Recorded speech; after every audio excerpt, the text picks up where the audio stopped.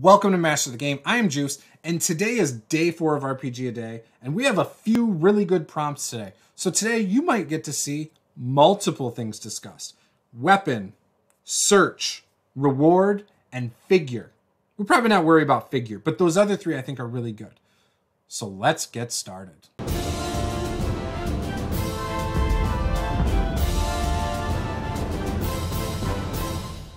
If this is your first time here, be sure to subscribe so you can see more content like this. And also, if you want to see a variety of tabletop RPG games played, if you want to see uh, tips videos, reviews on a variety of products, then this is the place for you.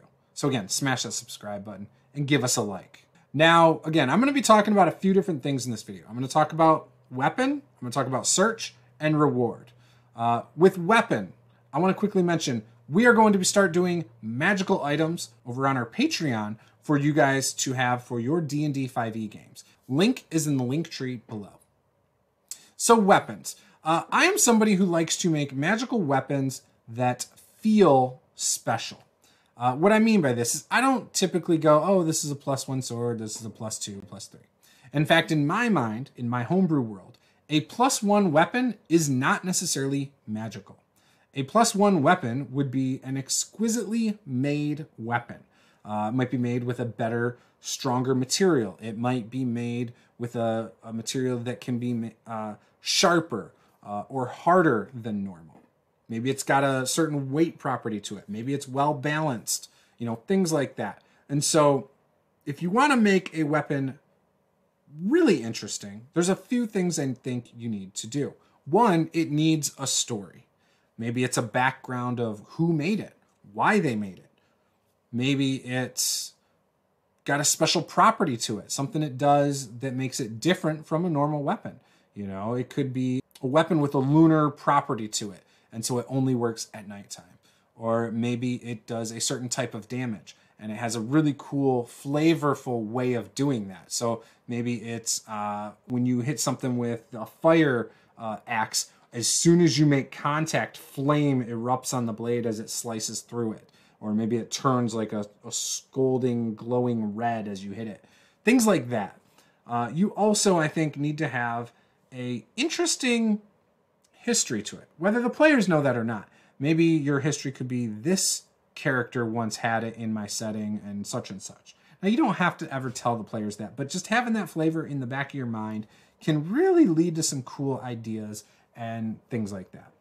Now, I always, when I'm doing stuff like this, though, I like to add a, a type of damage to it.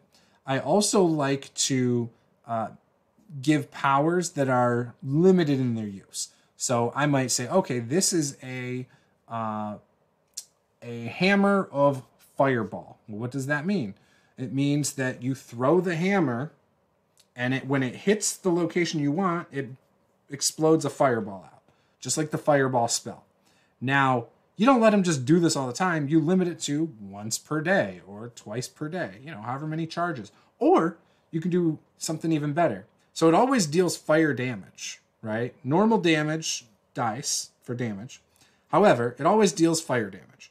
Now, when it expends all of its charges, though, say you give it five charges forever, once all the five charges are gone, it never can do that ability again. Does it maintain the ability to do fire? Or does it just completely go out? Does the fire in the hammer go out and it no longer can do that type of damage? Is it now just a regular old hammer? I don't know. But that could be a really cool item for your games. And I like to do stuff like that. Okay? It makes it so now you've given them a magic item, but eventually it's going to wear out. And now they're going to still need more magic items. And so you can still cycle through things. That is my favorite type of magic item to give. Maybe they want to keep it because it's been such a epic weapon for them and they've loved it. Maybe you implement being able to put runes into it, similar to like how they do in certain video games, like Dragon Age, and they could add another fire rune to it to replenish its abilities. You know, things like that. Really cool, if you ask me. Would love to hear how you handle magical weapons or just weapons in general in your setting in the comments below. Now, with that, let's move on to search. So, searching is a very interesting thing in tabletop RPGs. You do it various ways investigation, you know, passive perception, perception rolls, uh, stuff like that. And a lot of times in dungeons, for example, you will hide a secret door or you will hide a secret compartment in the bottom cupboard. The problem is when DMs put important story elements behind these things. Like you can't advance through this dungeon to completion without finding that secret door. And when you do something like this, you are putting a lot on a die roll. So, when searching for something, if it's mandatory they have to find it, you need to work into the failure a way that they're still going to find it. So, maybe the failure is what springs a trap. Or maybe in looking like just walking and not actually looking for this thing they get attacked. Uh, or they uh, maybe they maybe you ask them for a perception roll. They roll a, a nat one and they trip and fall through the secret door. And now the other players know there's a secret door that they are trying to find their way through, like maybe it's an illusion or something. they're trying to find how to get through this magical door.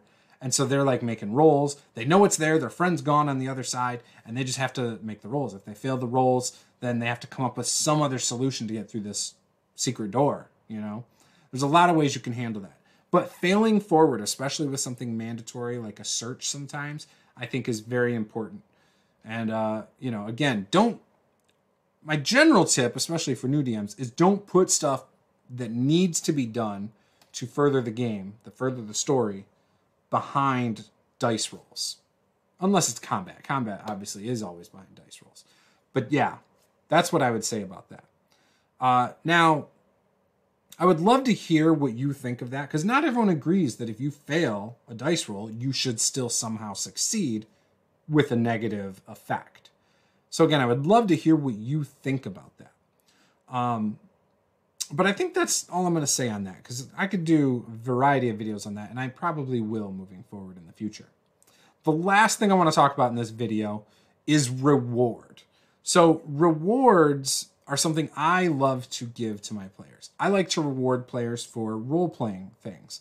Um, for example, in our Blackrock Adventures game this past weekend, uh, my wife Paula is playing a barbarian, and she has purposely played her character dumb because her intelligence is low.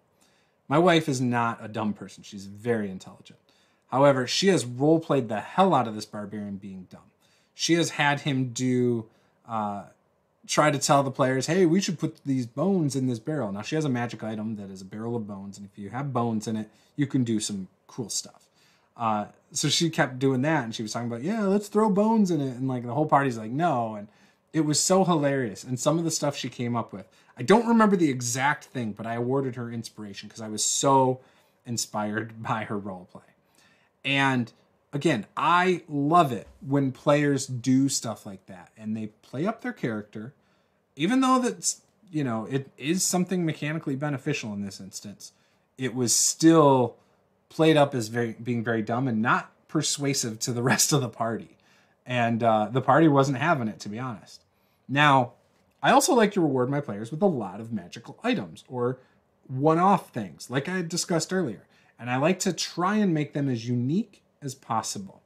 Uh, I will take inspiration from existing magic items and tweak them. I will take inspiration from monsters. I will take inspiration from TV shows, movies, all sorts of different places just pictures on Instagram or, or Pinterest. I take that inspiration and I turn it into something and then I give it to my players.